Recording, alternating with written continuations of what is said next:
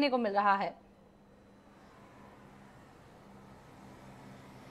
हाँ बिल्कुल, देखिए, आज कांग्रेस के राष्ट्रीय अध्यक्ष के चुनाव को लेकर कांग्रेस के जो डेलीगेट्स हैं, उनमें काफ़ी उत्साह है और इस वक्त मैं हरियाणा की अगर बात करूँ तो हरियाणा के एक डेलीगेट्स हैं जो आज अपना वोट डालेंगे। हरियाणा का जो कांग्रेस का चंडीगढ़ का कार्यालय है, वहाँ पर ये मतदान होना है और इसको लेकर तमाम जो गतिविधि है, वो यहाँ पर शुरू हो गई है। लेकिन हरियाणा के जो कांग्रेस के विधायक दल के नेता हैं और जो साथ ही पूर्व में मुख्यमंत्री रहे भूपेंद्र सिंह हुड्डा। वो तमाम कांग्रेस के डेलीगेट्स के साथ करीब साढ़े ग्यारह बजे वोट डालने पहुँचेंगे।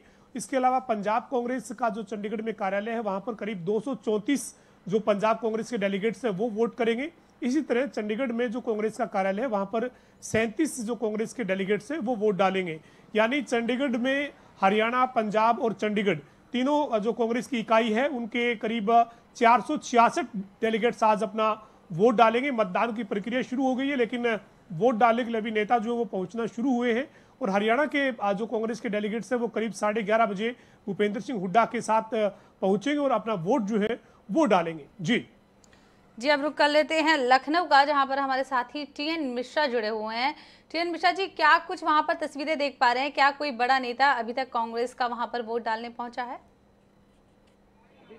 जहाँ 22 साल बाद चुनाव हो रहा है इससे चुनाव में बड़ी संख्या में लोग उत्साहित हो रहे बारह सौ से ज़्यादा वोटर यहाँ है यूपी के और धीरे धीरे बड़े बड़े नेता तो अभी नहीं आए हैं, लेकिन ज़्यादातर लोग आ गए हैं। हमारे साथ इस समय वो प्रकाश तिवारी जी हैं, पीसीसी मेंबर हैं। ये थोड़ा यहाँ की गतिविधियों के बारे में जानकारी देंगे आपको। प्रकाश जी। बहुत ही अच्छा मौका है हमारे लिए। हम मेंबरों को वोट देने का मौका मिला है। बहुत अरसे बाद उनको अपना मताधिकार करने का अवसर मिला है। ये बहुत ही आंतरिक लोकतंत्र जो कांग्रेस में ही है, अन्य दलों में नहीं है, कांग्रेस पार्टी एक ऐसी पार्टी है जो लोकतांत्रिक मूल्यों में विश्वास है। यहाँ चार, बारह सौ पैंतालीस मेंबर हैं और हम सभी आज मताधिकार कर रहे हैं। अब गुप्त मतदान होगा। हम लोग अपने नेता को चुनेंगे तो हमारा राष्ट्रीय अध्यक्ष होगा। उसके नेतृत्व में हम पूरे हिंदुस्तान में कांग्रेस का परचम लहराएँगे।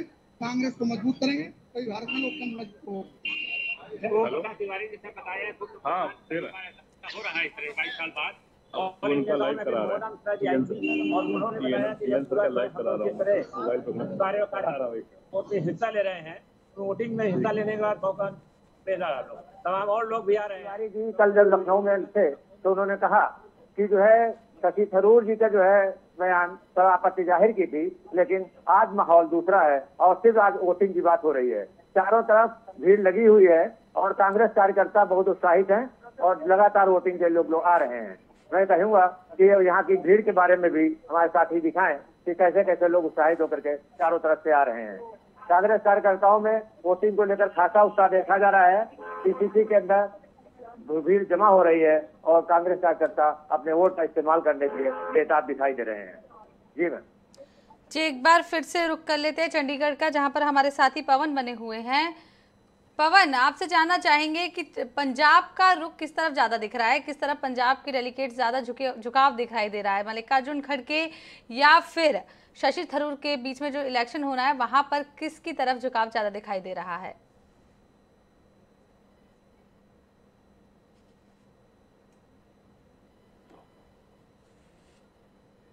जी, एक बार फिर से रुक कर लेते हैं टीएन मिश्रा जी का, जो हमारे साथ लखनऊ से जुड़े हुए हैं।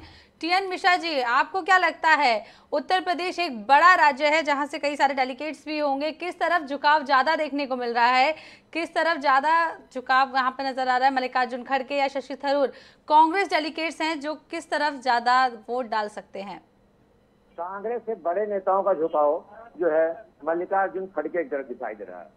शशि थरूर जी के साथ लोग हैं ज़रूर लेकिन वो खुलकर बोल नहीं रहे हैं। खड़के के समर्थक खुलकर उनके साथ आ रहे हैं और वो धीरे धीरे जो है उनकी बात कर भी रहे हैं। और बड़े नेता अभी ज़्यादातर सचिव तरूर के साथ उनसे बोल नहीं रहे जी टी मिश्रा जी आपका बहुत बहुत शुक्रिया पूरी जानकारी देने के लिए। आगे भी आपसे बने रहेंगे अपडेट लेते रहेंगे। पवन आपका भी शुक्रिया पूरी जानकारी देने के लिए। आगे भी आपसे बने रहेंगे और जानकारी लेते रहेंगे। अब हमारे साथ जुड़ चुके हैं रायपुर से हमारे साथ ही स्वप्निल गौरखेड़े।